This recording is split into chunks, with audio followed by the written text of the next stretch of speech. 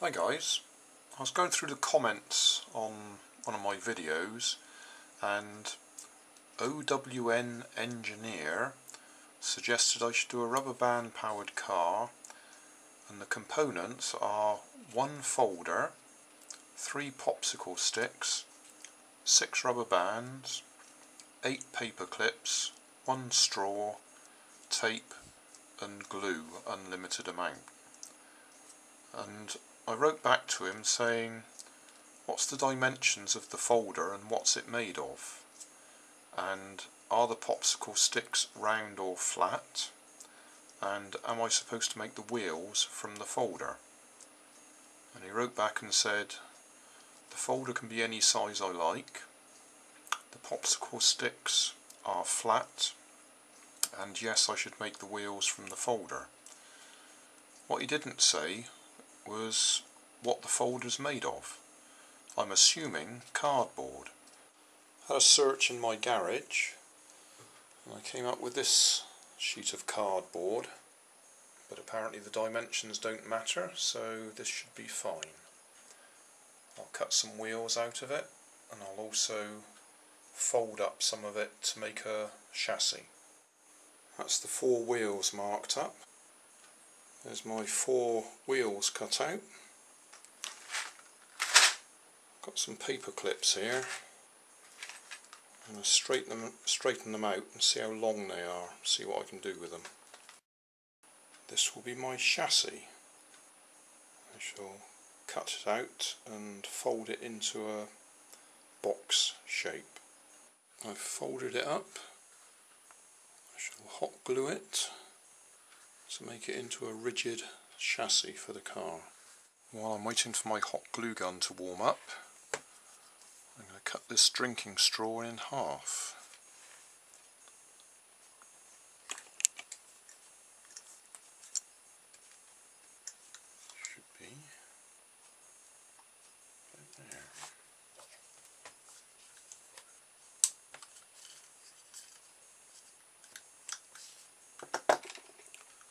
Because I'm planning to use the four or four of the paper clips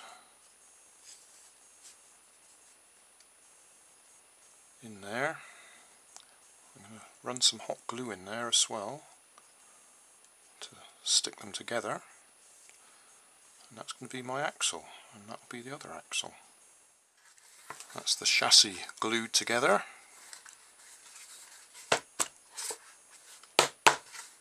Pretty solid. Now let's see if we can make these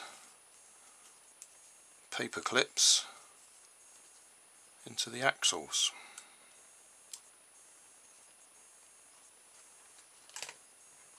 Finish unbending that one.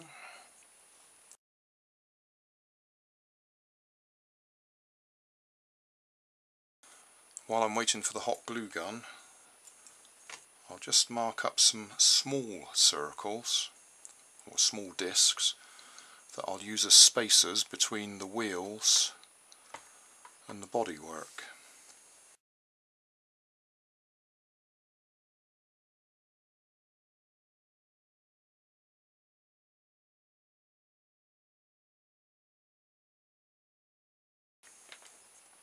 Need to drill some holes in them so that'll be a loose fit over the axles.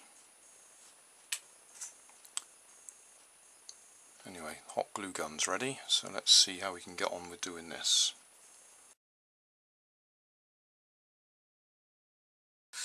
I've marked lines along the sides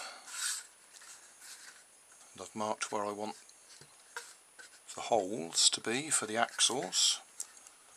And I'm going to try using this, which is a leather punch for punching holes in leather just to see if that's good enough to go through here.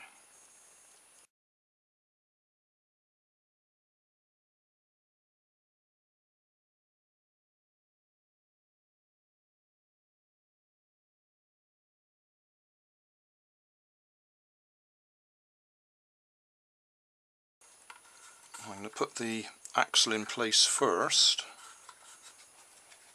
and put the spacers on.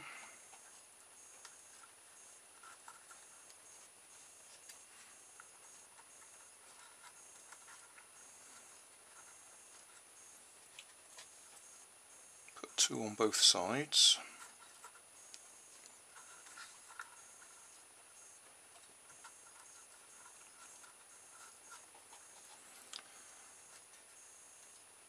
Centre it up and then put a bit of hot glue on the outside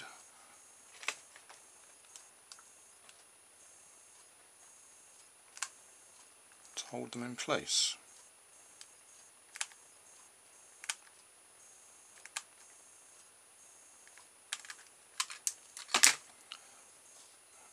Make sure we got a bit of a gap. I'll just leave that to cool down and that will hold the axle and stop it going side to side.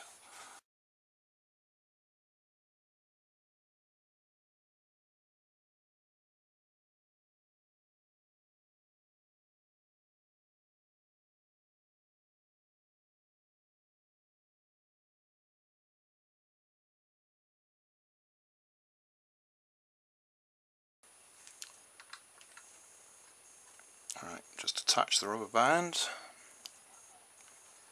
put that through there, put the rest of the band through the loop, and drop it all the way through.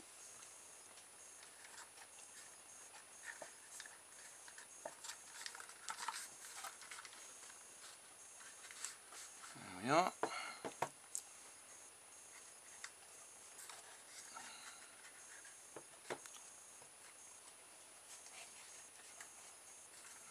to wrap it round on itself.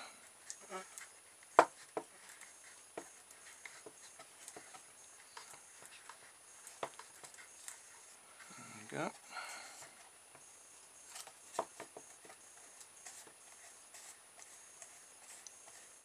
Test run time. wind it up and see if we can get the length of my kitchen.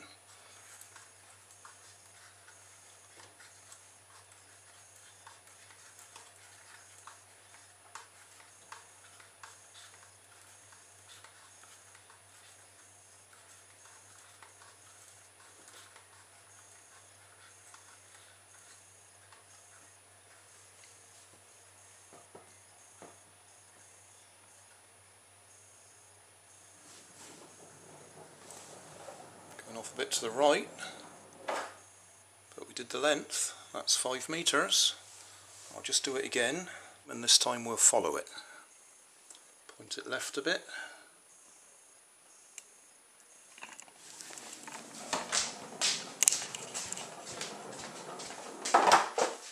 Summary time. So what have we got? We've got a car rubber band powered car that I've made from cardboard. Wheels are cardboard, chassis is cardboard. The axles are four paper clips straightened out and put inside a drinking straw with a bit of hot glue and the same at the other end four paper clips drinking straw and a rubber band for the motor. And that's it really. So I hope that meets the criteria. I've actually used less bits than I was given in the component list. And it works. Does 5 meters